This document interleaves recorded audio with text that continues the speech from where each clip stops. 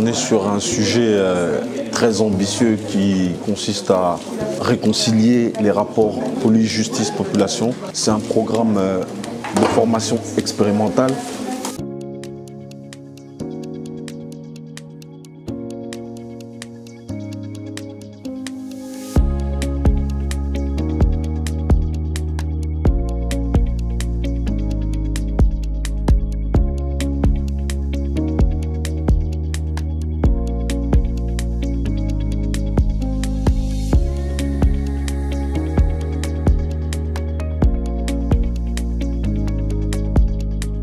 C'est une formation connaissance des métiers de la police et de la justice. Plus de sept structures qui ont fait le déplacement sur cinq villes. Ces deux jours de formation ont permis de tisser des liens et d'échanger nos, pratiques professionnelles et puis surtout de voir euh, qu'est-ce qu'on pourra faire ensemble, comment on pourra continuer ce travail pour apaiser des choses.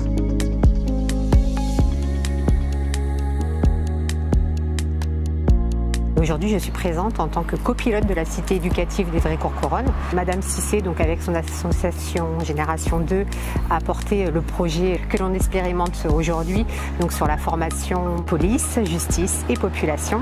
Et dans ce cadre, nous les avons soutenus euh, avec la cité éducative lors des commissions thématiques de la prévention de la délinquance. Nous avons soutenu financièrement le projet de formation au regard de, de problématiques qu'on a pu observer depuis plusieurs années sur le territoire du centre mais pas que. C'est pour ça qu'aujourd'hui, sur cette formation de test, il y a des associations qui sont issues d'un petit peu partout euh, du territoire départemental.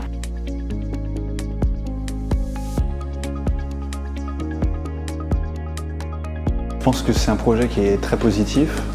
Euh, d'une part parce que euh, c'est toujours utile d'utiliser tous les canaux disponibles pour rétablir le lien de proximité entre euh, donc la police, la justice et euh, les populations, quelles qu'elles soient. Et surtout, c'est aussi positif dans une période où on a parfois des remises en cause, des discours officiels, des discours publics, d'avoir aussi des gens vraiment proches qui peuvent comprendre et qui peuvent faire passer le message par un canal qui sera peut-être un peu plus alternatif, mais qui sera aussi euh, tout aussi pertinent que par des médias ou des outils critiqués ou fortement remis en cause.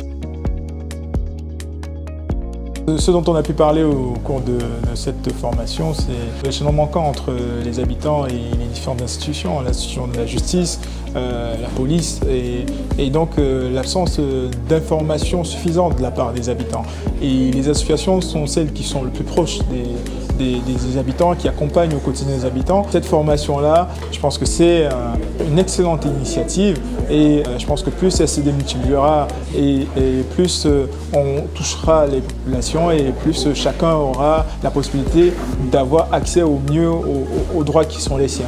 Pour pouvoir apporter une réponse claire et apaisée, le mieux c'est de se former soi-même. Très bien de réunir la justice, la police et les acteurs associatifs au sein d'une même formation. À cette formation, très très importante pour moi parce qu'on est dans un quartier prioritaire et tout ce qu'on cherche aujourd'hui, c'est de trouver les solutions pour créer le dialogue entre la population et la police. C'est très parce que c'est des problématiques qui sont, qui sont euh, euh, très euh, difficiles dans nos quartiers.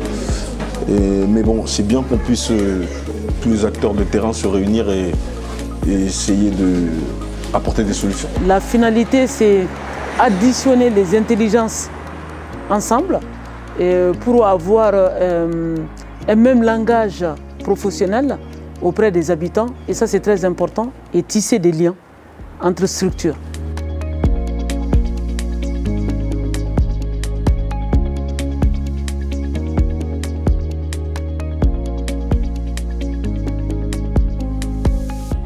Alors, en deux mots, c'est de créer le dialogue.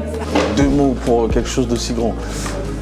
Euh, moi, je dirais un mot déjà, la volonté. La volonté d'agir. En deux mots, efficacité, euh, création de liens. Au pire, j'en dis un, t'en dis un. Tu préfères quoi Je dirais pertinent. Et innovant.